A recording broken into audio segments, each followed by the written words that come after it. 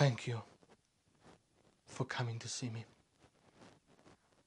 I know you had a terrible journey and don't like to meet in the flesh.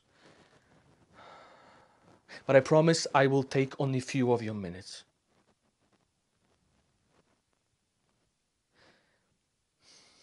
I have been threatened with homelessness. I couldn't tell you such a thing through the machine.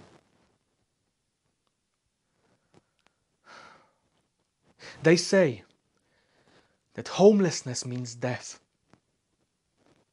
The victim is exposed to the air which kills him. But I have been outside since I spoke to you last.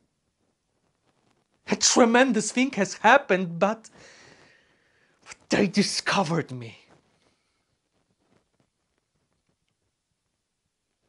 Officially, it's perfectly legal, perfectly mechanical to, to, to visit the surface of the earth.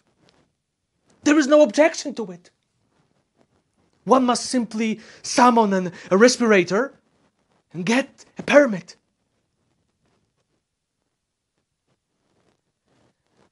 But I didn't get a permit. I found a way of my own.